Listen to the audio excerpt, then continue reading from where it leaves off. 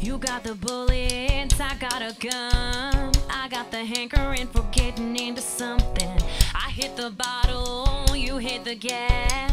I heard your 65 could really haul some ass.